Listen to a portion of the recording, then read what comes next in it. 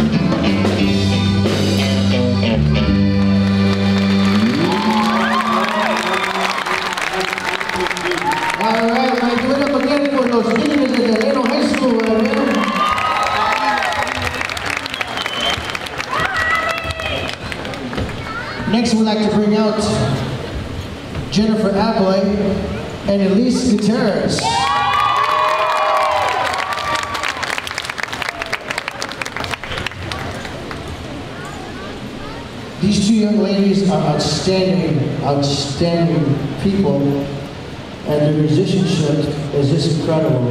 And you're going to hear a beautiful, lovely voice right now, and some great piano playing. And I'll let Elise explain that. Um, we are Elise and Tiger Claw, and we will be performing Come Home by OneRepublic.